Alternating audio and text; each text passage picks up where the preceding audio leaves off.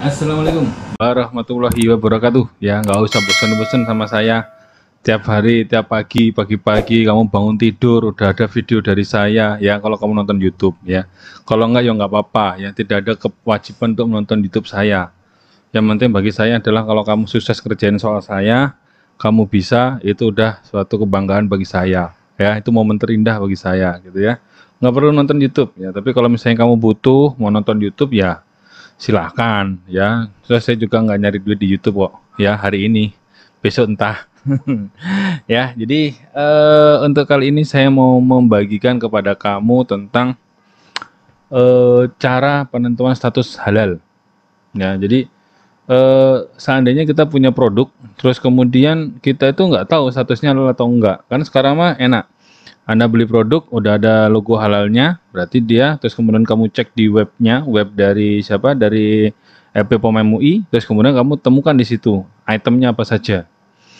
Ya, tapi mungkin beberapa kali saya melihat misalnya ada suatu varian produk gitu ya, mungkin yang di uh, di ininya apa namanya di halalnya itu mungkin tidak semuanya tercantum atau mungkin saya belum menemu aja tapi memang kemarin saya sempat menemukan produknya sudah di label ada label halnya, nomor kodenya sudah beda-beda tapi belum nemuin. Mungkin ada sedikit masalah dengan saya aja nyarinya seperti apa. Nah, di sini saya akan menerangkan beberapa hal tentang apa yang haram dan apa yang halal. Ini kalau kamu membaca yang SJH Indonesia, ya versi bahasa Indonesianya aja itu udah jelas sebenarnya di situ semuanya. Tapi mungkin karena anda apa namanya, karena anda mungkin sedikit uh, menjadi apa namanya orang yang kaum ini kaum gogoleran gitu ya kaum rebahan gitu ya jadi mungkin sedikit rada malas. Nggak apa-apa ya. Jadi kemalasan anda pun juga itu akan memberikan berkah bagi saya sehingga saya bisa apa menjelaskan lebih uh, lebih lagi kepada anda ya gitu ya. Oke bagaimana cara menentukan bahan ya? Satu tentukan jenisnya dulu apakah dia hewan binatang ataukah dia tumbuhan atau tanaman atau binatang laut dan segala macam nanti ada penggolongan-penggolongannya tentukan asalnya dari darat atau dari laut segala macam. Ikan segala jenis ikan itu dia ada halal misalnya kan ya. Oke. Terus kemudian eh, setelah itu lihatlah pohon keputusan ya. Karena misalnya begini anda beli apel. Apel dari China misalnya gitu ya. Terus kemudian di situ tidak ada logo halalnya. Terus kemudian anda makan enggak gitu ya Padahal kan mungkin contohnya kalau apel lo kan dia bahan nabati pak. Semua barang nabati dari dari nabati itu kan semuanya halal. Ingat dulu ada proses selanjutnya enggak? Ya biasanya proses selanjutnya adalah dia uh, apa namanya uh, dilakukan coating.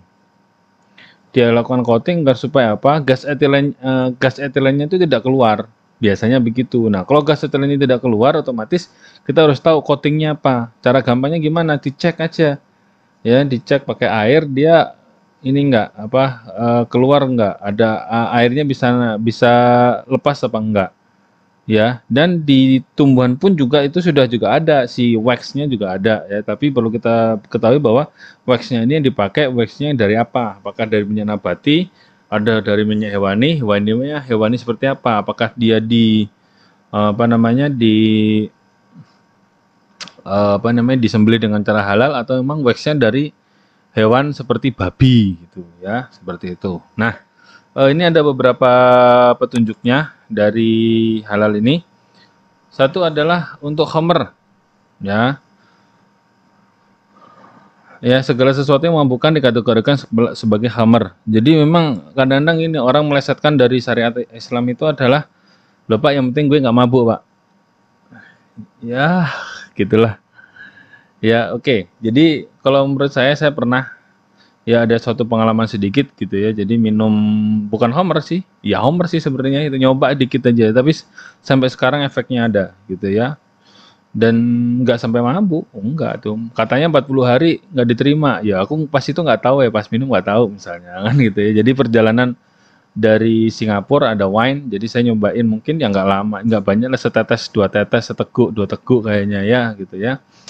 E, terus kemudian e, udah. Ya bagi saya sih rasanya mungkin nggak jauh beda dari alkohol murni 99% atau metanol gitu ya ada pahit-pahitnya, ada nyegerak-nyegeraknya gitu ya. Kalau yang etanol 99% itu kan biasanya kalau mipet gitu ya, kalau mipet kadang-kadang suka ke sedot gitu ya, karena mipetnya cuma semili dulu ya, dulu zaman dahiliyah begitu ya. Ya hampir sama aja sebenarnya, tapi bukan di situ ya, karena memang di di agama Islam tidak diperbolehkan minum itu ya. Sampai sekarang itu terasa apa ulu hati saya kena. Ya, saat itu di hati sini tuh kena jadi udah sampai saat ini saya udah berazam bertaubat lah, udah nggak akan minum lagi gitu, mau wine saya apa pun gitu ya seperti itu ya. Minuman mengandung minimal satu persen etanol dikategorikan sebagai khamr ya. E, minuman yang dikategorikan khamr najis ya. Nah, minuman yang diproduksi dari proses fermentasi yang mengandung kurang dari satu persen alkohol tidak dikategorikan khamr tapi haram untuk dikonsumsi. Ya, seperti itu. Jadi dia haram untuk dikonsumsi meskipun kurang dari satu persen, gitu ya. Oke, stop dulu. Jangan kom jangan komplain dulu ya, jangan komplain dulu. Oke, jangan bertanya dulu, sabar, sabar. Selesaiin dulu ya. Etanol ya, ini untuk etanol yang diproduksi dari industri bukan hammer hukumnya tidak najis atau suci. Artinya adalah apa? Kalau misalnya Anda dapat etanol, etanol dari hasil fermentasi eh, dari fermentasi molase. Nah, you know molase, molase itu adalah jadi kalau punya tebu, tebu digiling, terus kemudian sebagian dimurnikan menjadi gula, ya itu biasanya rendemen paling gede itu sekitar 50 sampai 60 persen. Sisanya adalah molase. Molase itu nggak bisa dikristalin lagi menjadi gula nggak bisa. Jadi dia hasil sampingnya. Nah dari hasil molase itu, itu memang masih manis itu ya. Terus kemudian ditambahkan eh, apa namanya mikroba ya. Terus kemudian nanti difermentasi ya, jadinya bioetanol ya bioetanol. Bioetanol biasanya dipakai buat apa? Buat uh, mobil, terus kemudian buat uh, analisis segala macam itu. Nah, kalau yang namanya etanol itu dia uh, hukumnya tidak najis, asal bukan dari industri hammer. Ya, jadi kalau pabrik tebu, tebu bikin etanol itu nggak najis. Ya, jadi itu suci. Ya, itu fatwanya seperti itu. Jangan salah, jangan diplesetin lagi. Ya, oke. Okay. Terus kemudian penggunaan etanol yang berasal dari industri non hammer dalam produksi pangan diperbolehkan selama tidak terdeteksi pada produk akhir. Artinya gini. Jadi misalnya Anda minum seperti Stimuno. Nah, Stimuno itu kan kalau tidak salah itu adalah ekstrak etanol dari uh, dari apa ya? meniran, dari meniran. Ya, atau suplemen-suplemen uh, uh, yang misalnya dijual di toko-toko herbal itu biasanya adalah dari ini apa namanya dari uh, dari ekstraksi uh, menggunakan etanol ya karena kenapa? Karena menggunakan etanol karena memang diuji aktivitasnya dia lebih kuat dibandingkan dengan yang misalnya pakai air. Atau dia pakai pelarut non polar ya. Like dissolve like. Jadi polar larutin dengan polar non polar dengan non polar ya seperti itu. Sehingga ya memang harus diekstrak pakai etanol untuk mendapatkan khasiatnya jadi itu. Syaratnya adalah nggak boleh terdeteksi pada produk akhir. Nah, kalau kita ingin tahu dia terdeteksi atau enggak di produk akhir, ayo pakai alat apa ya. Enggak ada etanolnya di terakhir Pak, pakai apa alatnya? Ya, bener ya. Oh, berarti pakai yang namanya gas kromatografi ya. Golongan alkohol nggak ada, berarti dia sudah tidak terdeteksi produk akhir ya. Kalau etanolnya dari produk eh, dari pabrik Homer gimana Pak? Nggak boleh Ya, jadi etanol yang diproduksi dari industri khamr nggak boleh. Ya artinya industri khamr itu uh, minuman, terus kemudian minumannya nggak laku gitu ya, terus pada itu tobat semuanya, terus kemudian etanolnya dipakai untuk yang nggak boleh. Ya, hasil dari industri khamr nggak boleh. Terus kemudian hasil samping, ya hasil samping itu namanya fusel oil, ya dari uh, dari diffuser oil itu biasanya digunakan untuk pelumas gitu-gitu kalau nggak salah ya. Nanti kamu cek lagi fusel oil itu seperti apa. Itu nggak boleh kalau dari industri komer ya, hukumnya najis dan haram. Pokoknya seperti itu. Nah, komponen bahan yang diperoleh dari industri khamar melalui pemisahan secara fisik adalah haram. Jadi misalnya industri khamar ngasilin uh, alkohol, terus kemudian ada hasil sampingnya isoamil alkohol sama nggak sih? Beda. Beda rantai C satu aja sudah berbeda. Nah, di situ berarti dia hukumnya adalah haram. Ya, pemisahan secara fisik. Ya. Apabila terus kemudian dari industri khamar itu dirasakan menjadi bahan baru, ya jadi misalnya alkohol dari industri khamar terus kemudian ditambahkan sesuatu menjadi senyawa baru atau bahan baru, ya eh, di sini diputuskannya adalah halal. Jadi misalnya alkohol terus kemudian dioksidasi, ya alkohol dari industri khamar dioksidasi menjadi aldehid, aldehid dioksidasi lagi menjadi eh, etanol, jadi aldehid rantainya dua eh, etanaldehid ya. Terus kemudian menjadi eh, asam etanoat atau asam cuka CH3COH ya CH3COH nya itu adalah halal. Itu tak kasih contoh pinter banget itu ya. Itu barusan dapat ilham aja. Ya itu seperti itu. Ya jadi itu masih halal. Terus kemudian yang keempat adalah favor yang menyerupai produk halal eh, produk haram. Jadi itu tadi. Kalau misalnya kita makan ini uh, potato chip ya uh, ada kasusnya adalah untuk si Mr. Potato eh, apa ya lupa kemarin yang itu loh pokoknya ya yang yang ada wadahnya itu Mr. Potato bukan Mr. Potato Aduh, itu suka beli tuh orang-orang tuh. Padahal saya saya rekomendasikan gak usah beli yang itu gitu ya. Yang yang ada wadahnya gede itu, panjang panjang ke atas itu kayak eh tabung gitu ya. Itu kalau di mana? Kalau di uh, Inggris itu ada ada ininya. Ya apa namanya? Ada rasa uh, beacon. Nah, itu enggak boleh ya. Oke.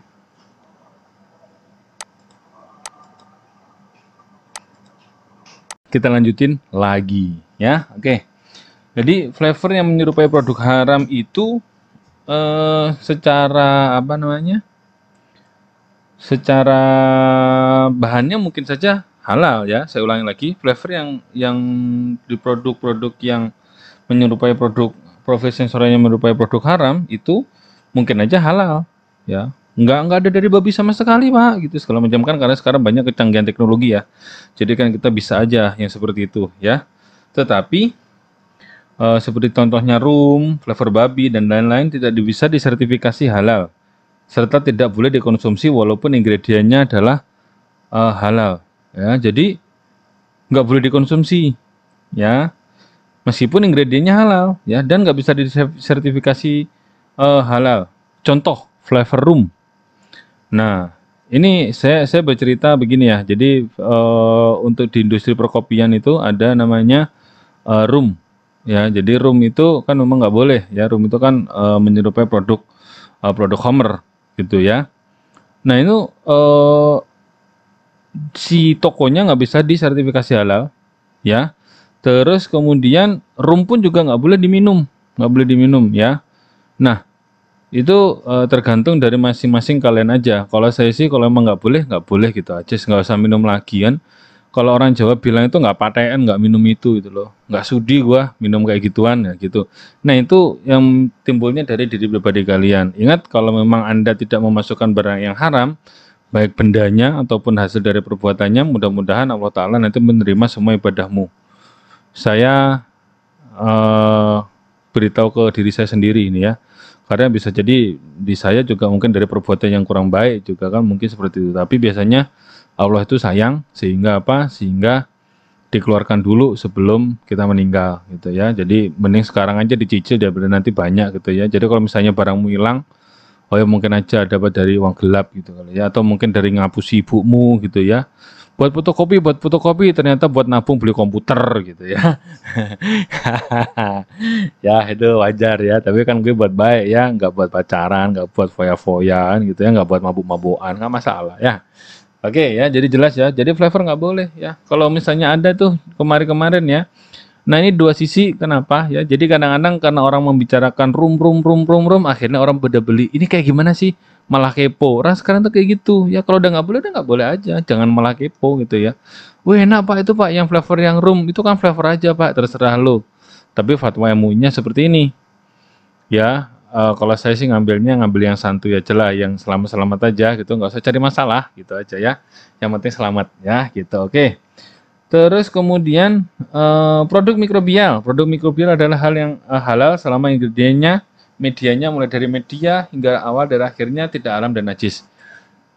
Jadi kamu tahu kan kalau di mikro, di mikrob ya di mikrobiologi gitu ya. Jadi kan itu ada mulai dari awal. Kalau bakterinya halal, halal, bakterinya halal, ya produknya pun halal. Jika ya medianya, ya media penyegarannya, sampai media produksinya dan segala macamnya itu semuanya halal. Ingat kasus Ajinomoto dulu adalah ya zaman dulu ini zaman dulu sekali ya. Itu hanya di media penyegarannya ada eh, apa ya darah babi atau apa lah pokoknya ada ada bahan dari babi gitu ya. Kalau tidak salah itu itu udah lama banget itu ya. Saya dulu juga mengamatinya karena belum jadi mahasiswa apa eh, ilmu pangan. Jadi cuman sekilas-sekilas saja. Tapi kasusnya dulu begitu. Dia cuma media penyegarannya. Dia tidak ikut dalam dalam produksi enggak enggak jadi dia merubah eh, protein glutamatnya segala macam itu dia ada satu titik itu yang pakai itu akhirnya apa semuanya haram sampai diperbaiki baru kemudian masuk lagi. Kenapa? Ya ada sedikit saja najis, semuanya nanti najis. Gitu ya. Jadi seperti itu. Wih kejam Pak ya sekarang terserah mau mau ikut uh, aturan Gusti Allah apa enggak itu aja santuy. Kalau nggak mau ya terserah lu udah udah sendiri ya gitu ya. Saya cuman mengingatkan saja. Rasul aja cuma mengingatkan gitu ya siapa gue gitu Rasul aja nggak bisa nggak bisa membuat pamannya apa namanya masuk Islam apalagi gue gitu ya just kidding ya oke okay. terus kemudian penggunaan alat bersama jadi bagi industri yang memproduksi halal dan non halal maka akan menghindari terjadinya kontaminasi silang jadi kalau produkmu adalah kornet satu kornet babi satu kornet eh, daging sapi gitu ya jangan digabungin nggak boleh pakai alat bareng Pak nanti kan dicuci tujuh kali, siapa yang mastiin? Kalau kamu udah capek pasti nggak sampai tujuh kali, ya itu makanya jelas. Dipisahkan jelas, nggak boleh ada pertukaran orang, bahan segala macam. Alatnya juga harus beda, ya itu nggak boleh. Harus begitu ya. Dimulai dari tempat penyimpanan bahan, formulasi, proses dari awal awal orang masuk, awal barang masuk itu nggak boleh campur, udah pokoknya itu titik. Ya kita memelihara kemurnian agama, ya. Oke, nggak boleh berganti ya antara produk babi dan non babi meskipun sudah proses pencucian. Nah, ini keterangannya jelas ya, jadi nggak boleh ya. Beberapa contoh bahan kritis, ya ini bahan kritis. Bahan kritis itu harus harus dicek benar-benar ya. Daging yang berasal dari hewan halal dapat menjadi tidak halal jika disembelih tanpa menggunakan uh, aturan syariat Islam. Jadi contohnya misalnya kalau kamu uh, nyembelihnya adalah uh, di Smackdown gitu misalnya yang uh, kerbonya di Smackdown gitu ya atau mungkin bekas digigit sama apa namanya sama hyena sama lion gitu misalnya. Jadi itu nggak boleh ya. Jadi memang harus di dipotong atau disembelih menggunakan syariat Islam. Ya jelas. Nah apa yang menjadi hal kritis adalah satu penyembelih ya maaf ya Nail ya nggak bisa jadi penyembelih buat kita ya Nail ya gitu ya oke ya jadi ya satu harus muslim yang taat menjalankan syariat Islam sehari-hari. Artinya apa ya?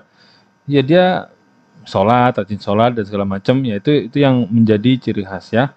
Dan penyembelih penyembelih hewan ini ada namanya juleha namanya ya namanya juleha ya juru sembelih halal gitu ya. Jadi itu ada ada uji kompetensinya juga itu. Ya juleha itu ada uji kompetensinya ya. Contohnya adalah uh, golok yang dipakai itu harus bisa motong yang namanya uh, kertas ya. Karena tajam karena kasihan nak kalau nggak tajam gitu ya. Coba kamu bayangin aja kamu kalau digorok terus kemudian pisaunya nggak ini nggak mati-mati udah nggak mati-mati ini sakit banget kan gitu. Gini aja udah sakit ini ya. Coba kalau misalnya kamu pakai pisau tajam seret gitu. Sudah nggak kerasa langsung meninggal aja kan? Gitu itulah pri kehewanan itu ada juga di sekitar itu ya jadi memang sudah sempurna agama ini ya oke terus kemudian eh, pemingsanan. Nah, pemingsanan tidak boleh menyebabkan hewan mati. Ya, kalau mau jadi joleha, nail nggak bisa nail ya. Nah, kalau yang lainnya masih boleh ya. Usahakan biasanya cowok ya, jarang yang cewek biasanya nggak boleh ya, cowok biasanya ya.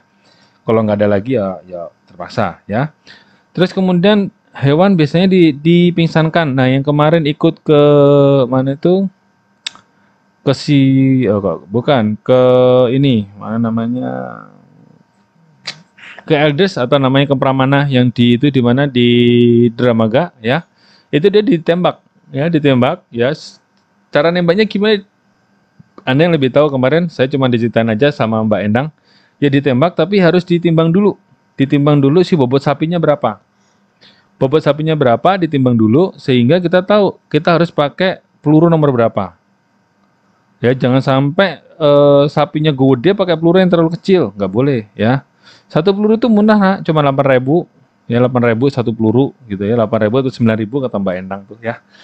Nah di situ eh, ditembak der itu belum sampai mati langsung disembelih ya. Itu cara yang pertama gitu ya. Atau bisa juga ada yang nggak disembelih langsung dimasukin sapinya diputar balik terus kemudian dipotong. Jadi dia lebih lebih aman. Karena apa? Ketika kita, kita ditembak dari sini cedes gitu ya. Kalau nanti dia mati berarti halal barangnya. Sapinya halal. Ya nggak boleh nggak boleh dimakan. Makanya kalau anda beli nanti impor sapi dari mana? Dari Australia ya gitu ya. Sudah dipotong di sana daging beku. Samain lotnya. Lot itu adalah sapi nomor berapa samain dengan yang masuk ke Indonesia Artinya apa? Anda bisa minta cara proses pemotongan yang nomor berapa itu bisa ada. Ya karena kan kita nggak tahu ya ketika ditembak apakah dia sudah mati atau belum kan kita nggak tahu. Ya makanya harus harus jeli gitu ya. Jadi lot lot numbernya harus sama gitu ya. Lot numbernya harus sama sehingga nanti Anda pasti itu oh ya ini sapi yang saya beli yang seperti ini. Nah, seperti itu ya. Ya kalau misalnya dipingsanin terus kemudian mati, uh, mati duluan nggak boleh, berarti udah langsung halal. Eh sorry, udah langsung ha haram. Tapi kalau di, masih pingsan terus kemudian disembeli boleh. Ya, terus kemudian peralatan pisau harus tajam. Ya, tadi udah saya jelasin. Ya, terus kemudian proses penyembelihan hewan harus benar-benar mati sebelum proses selanjutnya. Artinya apa? Mati itu berarti memotong tiga saluran. Saluran apa? Saluran das, da, apa namanya? Saluran darah sama satu lagi saluran pencernaan. Harus potong tiga-tiganya dan itu putus. Pak, kalau putus sampai lehernya gimana, Pak? Haram. Nggak boleh sampai putus lehernya. Ya, jadi gini, seret, seret, selesai. Ya, jadi ke bawah, tarik ke atas, selesai. Nggak boleh putus sampai lehernya. Lehernya putus, haram. Nggak boleh, ya. Nah, terus kemudian darah harus dikeluarkan sempurna. Makanya, terus kemudian dia digantung. Ya, habis disembelih mati, terus kemudian dia digantung agar supaya darahnya darahnya keluar semuanya. Loh pak, kalau darahnya nggak keluar itu yang enak loh pak. Ayo, kamu pasti berpikiran begitu toh? Darahnya nggak keluar itu enak loh pak. Contohnya adalah apa? Misalnya kamu punya yang namanya pernah nyembelih ini, nyembelih nyembelih kire. Oh anjing, anjing, anjing. Saya pernah lihat teman saya nyembel, uh, bukan nyembelih anjing, tapi matiin anjing itu dipukul-pukul. Jangan sampai darahnya keluar. Kalau kalau darahnya keluar nggak enak.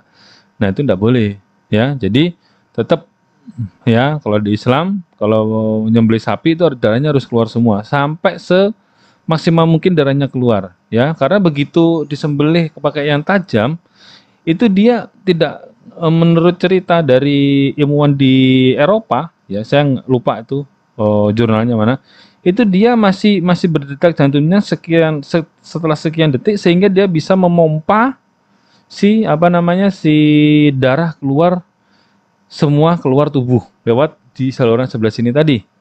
Ya, kalau misalnya dia sapi yang sampai stres, ya jantungnya itu ritmenya nggak bagus itu ya, dia nggak bisa memompa semua darah yang ada di daging, di di arteri, di vena segala macam itu nggak bisa keluar semuanya. Sehingga apa? Dagingnya kualitasnya jelek. Secara sains seperti itu.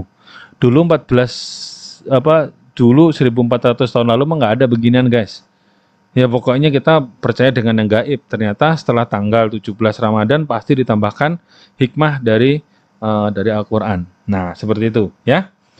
Oke, terus kemudian uh, untuk daging impor perlu diperhatikan hal berikut. Harus dilengkapi dengan sertifikat halal dan lembaga yang diakui oleh BPOM MUI.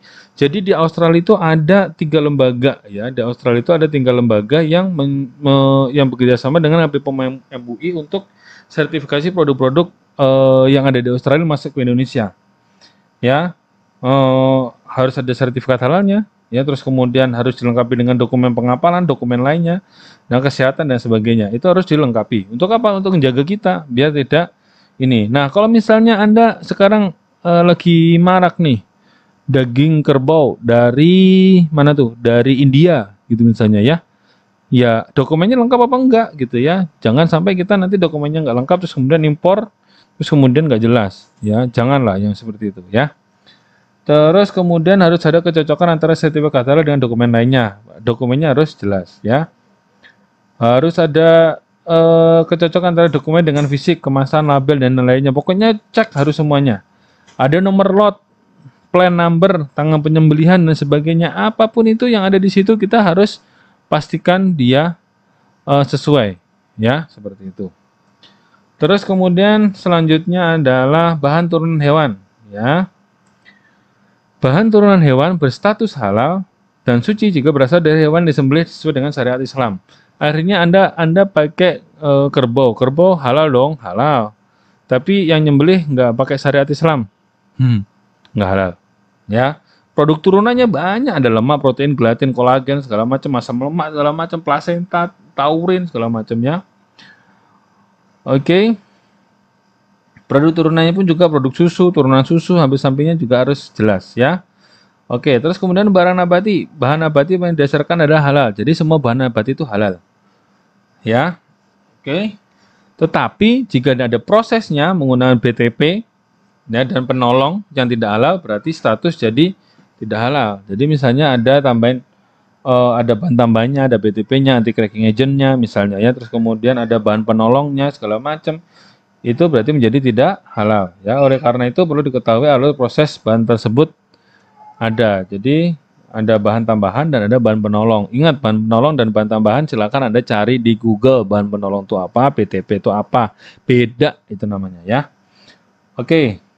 Terus kemudian ada beberapa contoh satu tepung tepung terigu ya dengan berbagai vitamin ya asam folat ya cek dulu vitamin asam folatnya seperti apa ya. Terus kemudian oh, oleoresin cabai rempah-rempah menggunakan emulsifier emulsifiernya dapat dari mana? Itu juga harus kita perhatikan. Terus kemudian uh, ada lecitin ya mungkin menggunakan enzim fosfolipase ya dari mana dari babi bisa jadi ya. Karena ingat tadi ya kuliah sebelumnya bahwa babi dan produk turnanya itu sangat banyak sekali dan randemennya besar. Saya nggak tahu ya. Saya saya belum ketemu jurnalnya belum ketemu acuan yang pas. Mudah-mudahan nanti uh, setelah 17 Ramadan itu ada pencerahan lah ada ada sedikit hidayah dari Allah buat saya. Kenapa sih uh, babi itu haram tetapi manfaatnya itu banyak gitu? Apa memang kita kita kita disuruh oleh Allah untuk menjaga itu semuanya artinya jangan sampai makan itu meskipun itu enak gitu ya. Saya belum ketemu uh, sesuatu yang apa namanya yang yang yang sahih gitu ya menurut saya loh ya. Kan masing-masing orang punya ini ya tapi ya karena kita percaya dengan yang gaib ya nggak akan makan gitu ya. Oke. Terus kemudian uh, hydrolyze vegetable protein yang diperhatikan jika proses hidrolisnya menggunakan enzim enzimnya dapat dari mana babi lagi gitu ya ya itulah susahnya kita itu kan apa apa babi lagi gitu ya oke Terus kemudian produk hasil samping dari industri uh, minuman beralkohol ya.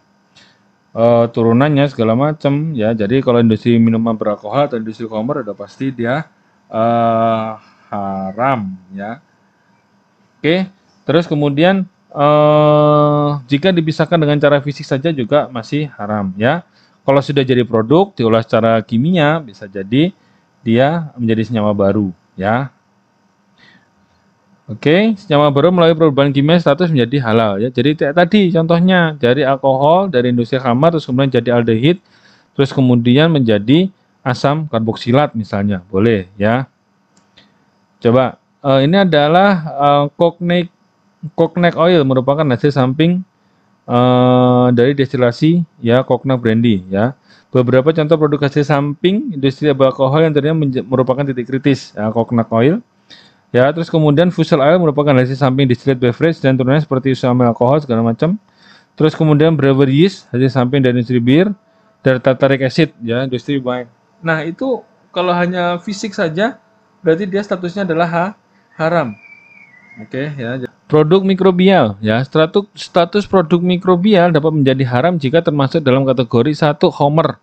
Udah jelas ya, beserta produk sampingan dan turunannya. Terus kemudian produk mikrobial yang menggunakan media dari bahan yang haram.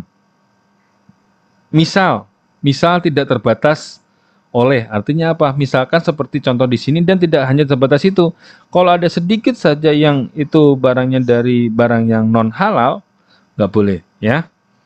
Artinya ya haram jadinya barangnya, gitu ya. Contohnya adalah media agar, propagasi, produksi, gitu ya. Misalnya darah, pepton dari hidrolisis bahan berprotein seperti daging, kasein yang memang tidak disembelih dengan menggunakan uh, nama uh, nama Allah, ya. Terus kemudian atau dia merupakan barang yang haram dari produk haram ya. Oke. Terus kemudian uh, produk mikrobial yang proses pembuatannya menggunakan enzim dari uh, bahan yang haram. Jadi enzimnya dari bahan yang haram. Enzimnya dari mana? Dari oh dari enzim babi gitu misalnya. Itu haram ya. Uh, yang menggunakan bahan penolong uh, yang haram juga statusnya menjadi haram. Contohnya adalah penggunaan anti busa atau kultivasi mikroba yang dapat berupa minyak lemak babi, gliserol, ya penggunaan anti busa. Jadi dia biar produknya tidak berbusa, ya dipakai gliserol dari minyak babi, gitu ya nggak boleh. Ya pokoknya ada sedikit yang ini nggak boleh ya. Produk mikroba dan kombinan yang menggunakan gen yang berasal dari bahan yang haram, contohnya sebagai berikut: enzim alfa amilase dan protease dihasilkan dari uh, Saccharomyces cerevisiae yang kombinan dengan gen dari jaringan hewan. Jadi kita tuh sebegitu perkembangan teknologi yang besar gitu ya. Jadi bisa memodifikasi hormon insulin yang dihasilkan oleh E. coli rekombinan dengan gen pada jaringan pankreas babi. Itu juga haram. Ya, artinya apa? Asal muasalnya dia dari dari apa? Dari insulin hormon insulin hasilkan E. coli rekombinan dengan gen. Jadi orang itu di babi itu sudah dipetakan ya karena kan makanya saya bilang kromosomnya kan ada mirip dengan apa namanya dengan uh, antara babi dengan manusia itu kromosomnya mirip ya jadi uh, gennya pun ketika orang itu sudah mapping gen ya jadi mapping gen artinya babi ini yang penyandi untuk bikin hormon itu sebelah mana itu diambil sama dia dimasukkan ke dalam si E. coli sehingga E. coli ini nanti akan bisa menghasilkan hormon insulin persis dengan yang dipakai untuk manusia. Itu biasanya yang pakai intravena, yang disuntik. Hormon insulin yang disuntik untuk menderita diabetes, itu dia benar-benar dari situ. Gitu ya. Jadinya statusnya ya jadi haram. Kenapa? Karena gennya pada nggak kelihatan Pak sama coronavirus juga nggak kelihatan. Ya, seperti itu ya.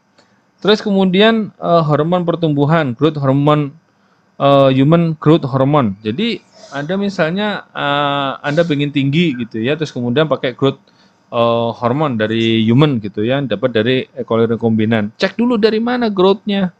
Jangan-jangan dari uh, dari DNA-nya atau dari gen yang dari si babi misalnya, ya nggak boleh, ya seperti itu. Nah, terus kemudian selain kelompok bahan tersebut, contoh bahan yang yang belum yang belum sering menjadi titik kritis ya.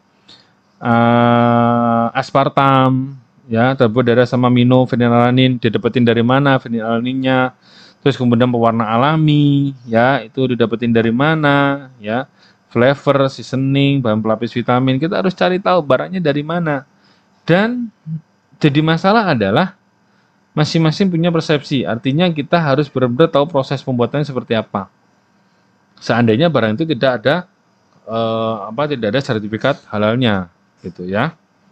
Oke. Nah, ini lampiran 6 keputusan untuk identifikasi titik keharaman. Nah, di sini diterangkan bahwa satu untuk titik kritis bahan. Satu untuk bahan nabati. Contoh bahan nabati udahlah gampang ya. Contohnya Anda beli sayur di pasar. Halal atau haram? lihat dulu ada pengolahan nggak? Yang nggak ada lah pak, cuman kemarin aja bisa semprot pestisida berapa minggu yang lalu, terus sekarang udah hilang. Terus kemudian dari apa namanya dari ladang dipotong, cuci pakai air, jual pak. Berarti kan nggak ada pengolahan, nggak ada berarti non TK, ya tidak kritis, aman barangmu, ya. Nah kalau misalnya iya ada pengolahan, iya ada pakai mikroba enggak? Enggak pak, cuman dikasih wax aja. Nah berarti kan ada bahan tambahannya. Waxnya dari babi atau bukan? Nah gitu kan, dari babi atau bukan gitu ya. Tidak pak, berarti non TK. Ya artinya bahan tambahannya halal atau haram gitu loh ya. Kalau bahan tambahannya haram ya berarti uh, bisa jadi ya nggak bisa disertifikasi halal gitu ya. Jadi TK atau titik kri kritis ya. Oh, terus kemudian, nah di sini kalau misalnya ada kultivar mikroba, gitu ada kultivasi mikroba pak.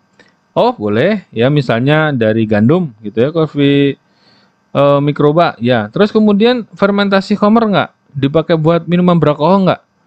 Lah kalau gandum kan dipakai buat bir pak. Ya udah selesai tuh. Iya, berarti barang haram. Kalau barang haram ya masa bir mau disertifikasi halal? Ini yang yang on siapa gitu ya? Misalnya seperti itu ya. Nah, oke. Okay. Nah, di sini ada ketentuan yang unik ya, di mana bahan yang boleh ikutin ketentuan ini adalah bahan yang awalnya halal, guys. Kalau barang ketentuannya awal sudah, misalnya Pak, saya mau sertifikasi halal untuk ganja, kan ada cerita, ya Oke, ganja, kokain, opium dan untuk untuk bahan narko narkoba itu ya nggak bisa lah. Masa ya aneh. Ya, kamu itu ada-ada aja yang tanyain ya. Oke, terus kemudian yang kedua adalah bahan hewani. Nah, bahan hewani dibagi menjadi dua, ya, susu, telur, ikan. Ya, susunya bukan susu babi, ya, ya enggak lah, ya. Susunya yang susu sapi ya atau susu kambing otawa gitu ya. Susu keledai gitu ya. Susu kedelai pak itu banabati kedelai keledai gitu ya. Oke telur sama telur halal ya. Oke ikan ikan halal guys ikan halal. Ya bangkai ikan aja masih halal oke? Ya ikan perlu disembelih nggak pak? Enggak masa kamu beli apa namanya beli pecel lele disembelih? Enggak kan? Cuma diketok aja cetok kepalanya pecah kan? Udah mati tuh coba lihat. Memang dia hasilnya halal. Enggak masalah. Ya? Nah kalau susu telur ikan ada pengolahan enggak ada pak. Diapakan? Dibekukan. Ya selesai lah dibekukan tambahin bahan tambahan enggak enggak pak ya udah non TK ya kalau ada pengolahan pak terus kemudian ditambahkan sesuatu nah sesuatunya kamu cek dulu halal atau haram? Enggak pak, tak tambahin garam jadi kan asin. Ya Allah, ditanyain lagi garam itu halal atau haram sih? Enggak tahu pak. Ya udah nanti liatin dulu ya. Oke. Ya jadi seperti itu. Jadi uh, susu telur ikan ya pada dasarnya dia kalau nggak ada pengolahan ya non TK. Kalau ada pengolahan ya dicek dulu. Pengolahannya tambahin apa segala macam itu harus dicek dulu. Oke ya jelas dari sini ya. Terus kemudian uh, daging dan hasil sampingnya, daging, lemak, tulang, minyak, kulit dan lain sebagainya, ya. Oke. Nah. Ya. Daging, dagingnya gimana ya? Oke. Apakah daging dan hasil samping berasal dari hewan yang halal? Dari babi, Pak. Ya udah kan barangnya nggak halal. Ya udah hal. Tidak halal berarti yang haram. Selesai udah. Jangan nanya lagi. Dari ini pak. Dari ular pak. Ular sebaiknya tengah-tengah dia kalau masih ada yang lain makan yang lain lah gitu loh. Kalau kamu udah kelaparan kalau nggak makan ular itu terus kemudian kamu mati itu ada keringanan di agama kita ya. Jangan sampai nanya seperti itu ya. Oke ya. Terus kemudian eh Pak, kalau cebong gimana Pak? Cebong nggak ada yang makan cebong ya, ada makan kata, suike ya. Cebong nggak ada yang makan ya, kata, suike. Hidup dua alam, cek dulu ya, cek dulu Al-Qur'annya gimana dan hadisnya gimana. Hidup dua alam biasanya nggak boleh. Ya. Kepiting rajungan, cek dulu ada fatwa MUI-nya, cek. Uh, ya, aman sih, kan tinggal cari ya. Kamu cari itu ya, nanti saya kasih tugas gitu ya jadi selain Anda membuat apa namanya, membuat presentasi PowerPoint, nak kasih tugas. Tugas biar apa? Biar kamu pinter, ya gitu. Ya oke. Okay. Terus kemudian Pak, ini hewannya halal Pak, sapi, ya, sapi Brahmana, limusin, yang gede yang rangatu bilah, ya satu apa namanya, satu mobil gitu ya, gede banget ya. Oke, ya oke. Nah, terus kemudian apakah disembelih menggunakan cara yang halal? Ya, sesuai syariat Islam dan memiliki sertifikat halal MUI atau lembaga yang di, diakui BPOM. Ya, yang nyembelih siapa? Juleha. Juleha. Punya sertifikat selesai. Berarti iya. Ya, kalau nggak punya, Pak. Tapi dia ngerti nggak pas dicek, oh ini sebenarnya karena dia nggak punya sertifikat aja. Ya insya Allah statusnya masih halal, tapi mungkin nggak bisa disertifikasi. Pak, ini kan disembelih buat ini Pak, buat sedekah bumi. Ya kepala kerbaunya nanti ditaruh di mana ditaruh di laut gitu ya atau ditaruh di ladang atau apalah pokoknya buat acara-acara ritual ya ritual agak ritual apa namanya uh, tradisi budaya. Itu mendekati syirik kalau kata ustadz saya ndak boleh. Ya di sini nggak nggak ditentuin sih. Ya tapi kan tujuannya bukan karena Allah ya.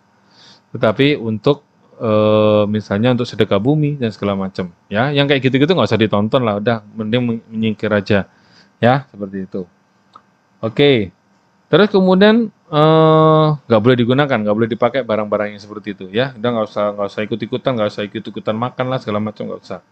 Nah kalau sudah jelas disembelih oleh juleha atau yang sudah diakui halalnya kehalalannya ada pengolahan lanjutan apa enggak Iya pak, dipakai buat apa? Pakai kornet pak, pakai bakso. Berarti yang harus dicek apa bahan lainnya. Bahan lainnya halal semuanya berarti halal ya. Tapi di sini menjadi titik kritis karena apa? Ada penambahan bahan lain.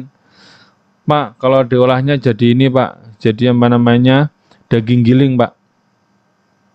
Pertanyaan gue adalah daging giling itu ditambahkan oh, garam Inggris apa enggak?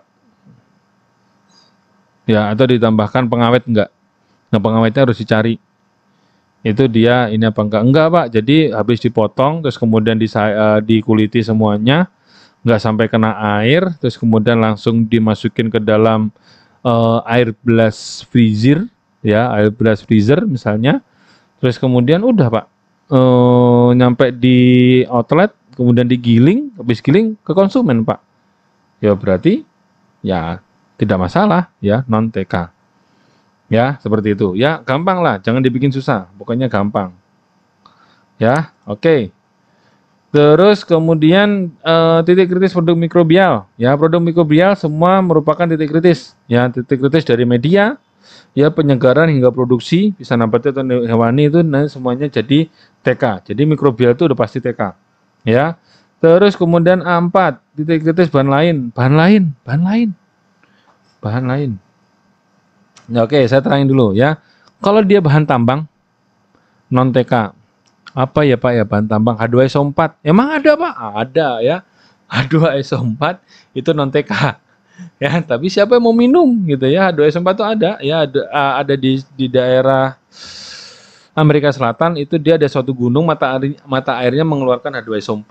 Keren banget guys. Ya, mengeluarkan H2SO4 ya ya non TK tapi siapa mau makan ya?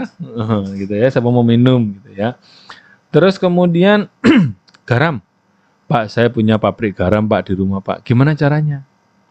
Ya saya alirin aja Pak itu air laut masuk ke tambak saya habis itu saya keringin. Halal atau haram Pak? Halal. Itu kan tambang ditambang dari air laut. Ya, bisa ya. Oke non TK terus kemudian seperti MGCL ya yang didapatkan dari penambangan itu nggak masalah ya halal barangnya ya.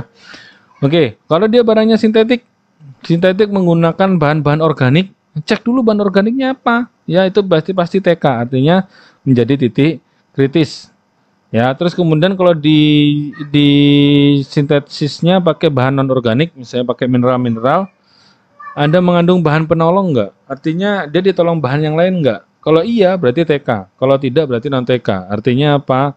Artinya kita bahan penolongan yang mesti di dicek lagi ya. Terus kalau campuran pasti udah jelas T TK ya titik kritis gitu ya. uh, identifikasi titik kritis penyimpanan dalam dan lini produksi ya. Jadi uh, ini juga penting juga kita bahas di lini produksi kita. Ya, apakah semua produk disertifikasi halal? Iya. Ya, jadi kalau satu pabrik itu terkon dimasukin eh, sertifikat halal apa enggak? Enggak Pak, sebagian aja. Berarti nanti cek dulu di yang sebelahnya. Kalau iya, apakah ada peluang bahan-bahan tersebut terkontamina- terkontaminasi bahan yang haram atau najis? Iya Pak. Kenapa? Ya, karena sebelah suka ada ini Pak, sudah suka ada apa namanya? Oh, ada kelelawar masuk gitu, Pak, menyebabkan COVID. Berarti JMP, JLP, eh, JMP, SSOP-mu nggak bagus. Itu beresin dulu. Ya, jadi sebelum melangkah ke halal itu yang lain-lain, sistem manajemen yang lain itu harusnya dicek dulu gitu ya. Oh, oh oke Pak lah. Oh ya udah, berarti cek dulu JMP dan SSOP-nya harus jelas dulu ya. Ya, jadi jangan sampai ada kontaminasi bahan-bahan haram atau najis. Gitu ya. Terus kemudian ti- tidak ada kontaminasi karena saya sudah kita sudah menerapkan good warehouse, Pak. Ya, good uh, warehouse practices GWP gitu misalnya ya yang bagus. Gini-gini nih. Ya udah oke berarti non TK. Ya, tapi kalau tidak semua bahan disertifikasi, misalnya contohnya eh Indomie dan Sarimi misalnya. Ya, Indomie dan Sarimi itu satu pabrik gitu ya. Terus kemudian dia eh, yang Sarimi tidak di apa tidak disertifikasi halal misalnya ya.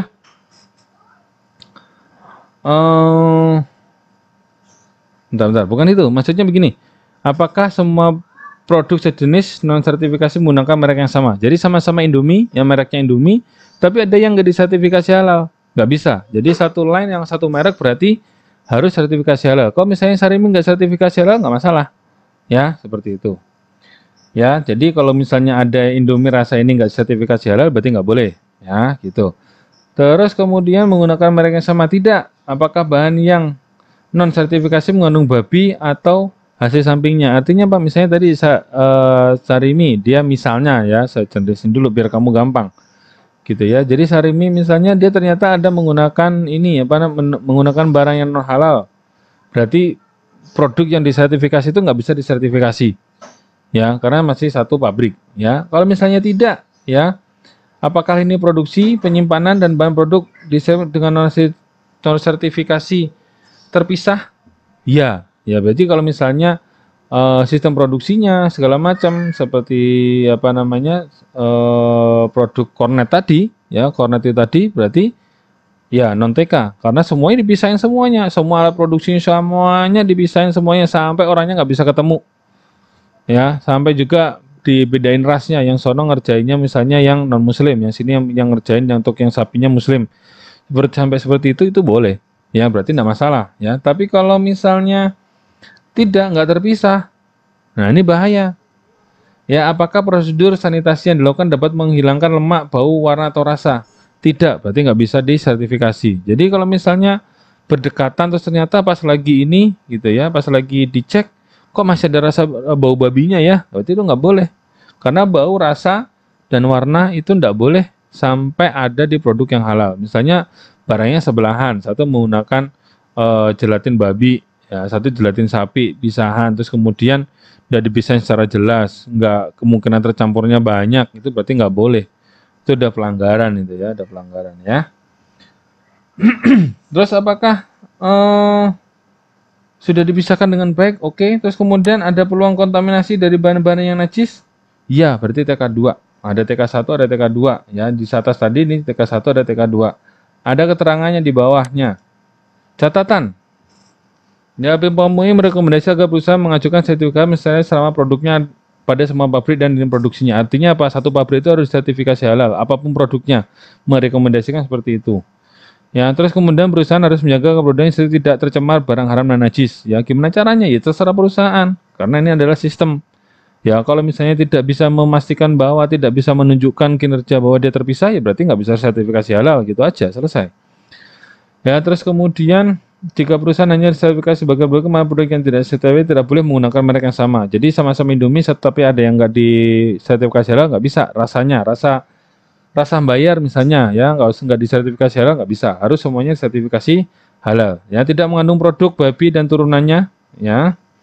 Terus kemudian ini produksi tempat penyimpanan bahan atau produk disertai dengan eh, yang disertifikasi yang tidak disertifikasi harus terpisah nyata. Ya jadi lini produksinya, tempat bahan segala macam harus bisa nyata itu wajib gitu ya. Ya.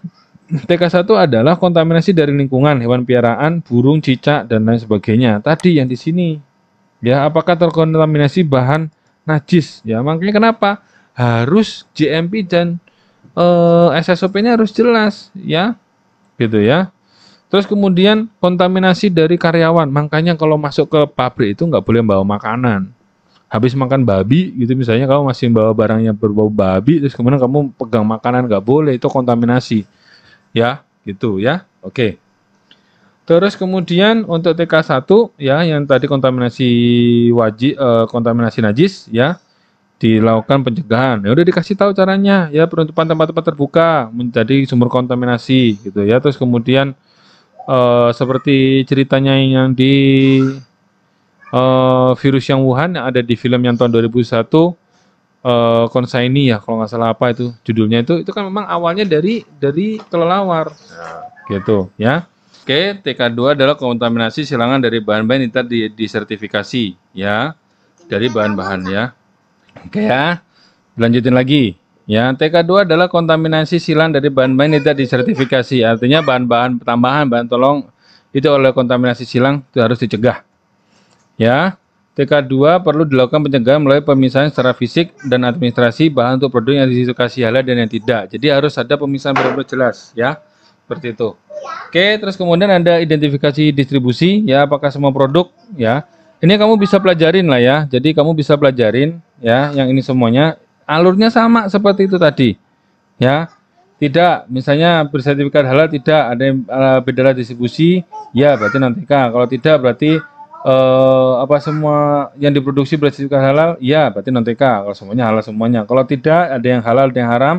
Ada pisah enggak sistem distribusinya? Tidak. Berarti tidak ada produk sertifikasi halal mengandung babi dan hal sampingnya? Ya, berarti nggak bisa disertifikasi. Ya, yang non sertifikasi mengandung babi, berarti ya nggak bisa. Ya, apabila ada e, tidak mengandung, ada kemasannya, iya. Ya, apabila tidak ada kemasannya, apakah ada kemasan dapat menjaga kontaminasi silang segala macam. Ini ada catatannya di sini ya. Terus kemudian di sini ada identifikasi pemajangan display. Ya, titik kritis penyembelihan. Apakah penyembelih bersama Islam? Ya, makanya saya bilang tadi Nail nggak bisa, ya. Ya, karena ini ya. Terus kemudian kalau iya penyembelih memahami menjalankan proses penyembelihan secara syariat Islam, dia nggak paham, ya dikasih pelajaran dulu, nggak boleh nyem, nyembelih dulu, ya. Kalau dia udah, terus kemudian dilakukan pemisahan, Ya, berarti TK2 berarti dicegah dengan menggunakan teknik stunning pada peralatan tertentu yang menyebabkan hewan mati sebelum ininya. Jadi itu seperti itu. Kalau misalnya tidak dilakukan pemisanan, apakah digunakan pisau tajam? Tidak. Kasih wawasan lagi harus pakai pisau yang tajam. Ya, kalau iya menggunakan pisau tajam apakah hewan mati sempurna dan darah keluar sempurna?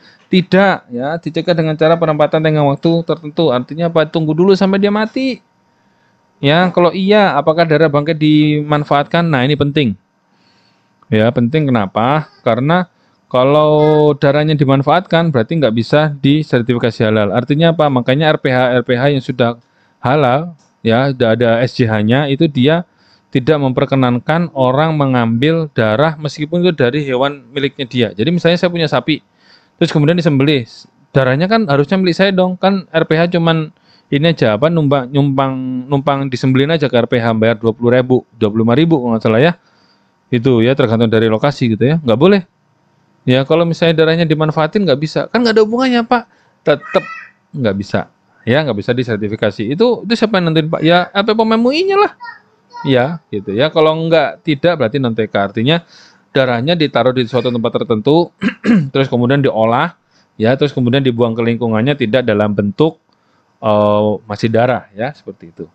Oke, itu hati-hati ya untuk ya, kritis penyembelihan ini nanti bisa jadi uh, masuk LSM segala macam ya.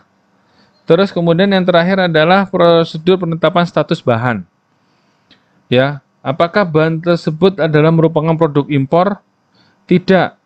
Misalnya tidak nih. Terus kemudian memiliki sertifikat halal MUI? Ya, berarti bahan dapat langsung digunakan. Ada sertifikat halal, langsung digunakan selesai. Kalau misalnya tidak, ya, tidak memiliki sertifikat halal berarti ada kemungkinan mengandung bahan yang diragukan, maka uh, dicek dulu. Ya, dicek dulu. Nah, kalau misalnya bahannya merupakan produk impor, iya, apakah memiliki SHM MUI atau lembaga luar negeri yang diakui oleh MUI. Artinya apa? Jadi bahan tersebut dia punya sertifikat halal dari MUI atau MUI bekerja sama dengan yang lainnya gitu ya. Jadi misalnya di di New Zealand sama di Aussie itu dia punya kerjasama. Nanti kamu bisa lihat di Cero ya di Cero di uh, halal ORG itu nanti di situ ada siapa saja yang ini. Ya kalau dia punya sertifikat halal, udah langsung berarti dapat digunakan. Saya anda beli uh, apa namanya beli daging sapi dari Aussie gitu ya. Dia ada halalnya lotnya segala macam ada gitu ya. Nah sekarang kan musim nih musim kayak seperti waralaba waralaba yang apa namanya yang all you can eat harganya 99.000 gitu ya. Terus kemudian dia no pork ya bener sih no pork tapi misalnya daging sapinya itu halal atau haram penyembelihannya?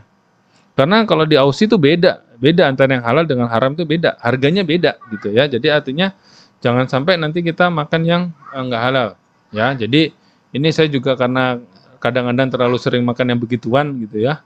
Jadi kadang saya juga bertanya gitu ya. Jadi ya, kalau sebagai contoh misalnya dia sudah memajang uh, halal ya kayak sabu haji gitu ya dia sudah memasang halal dia. Udah ada halalnya emang dia ingredientnya sampai bahannya itu halal ya berarti ya aman ya. Makanya saya senang kalau makan di Sabu Haji ya. Oke kapan? Aduh nunggu corona habis. Oke ya. Nah kalau misalnya dia tidak punya sertifikat halal dari MUI atau yang lainnya yang bekerja sama dengan BPOM MUI maka ada kemungkinan mengandung bahan yang diragukan. Biasanya bahan hewani atau hammer Ya, kalau iya berarti dia harus disertifikasi halal. Kalau tidak berarti nggak bisa digunakan. Kalau misalnya dia disertifikasi halal dan e, bisa halal, berarti dia bisa digu, digunakan. Nah, kalau misalnya tidak ada keraguan, ya tidak ada keraguan produknya produk ini, berarti dia nanti kajiannya tidak. Nah, terus kemudian ada kajian LPPOM MUI. Kalau bermasalah, berarti dia nggak bisa digunakan. Kalau nggak bermasalah, berarti dia bisa digunakan. Nah, ini ada prosedur-prosedurnya, silakan Anda baca ya. Jadi nanti uh, saya kasih Anda suatu contoh kasus ya. Terus kemudian anda silahkan menentukan uh, status kehalalnya seperti apa. Nah mungkin saya akan sebagai contoh begini. Uh, kita punya barang yang namanya gula. Gula dari tebu dong. Bahan nabati dong. Ada pengolahan? Ada. Nah salah satunya ada nggak?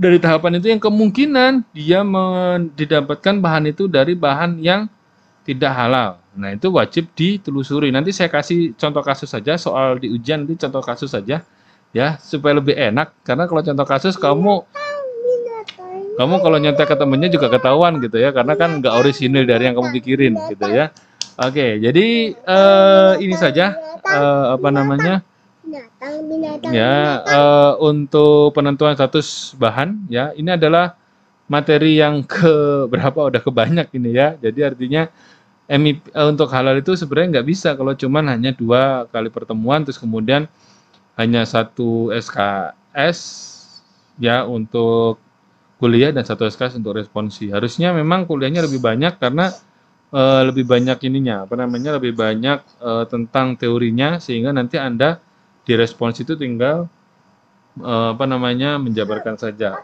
kasus-kasus gitu ya. Oke, saya akhiri. Assalamualaikum warahmatullahi wabarakatuh. Bye. Bye. Mah, mah, mah. Bye. Oke. Okay. lagi cantik ya.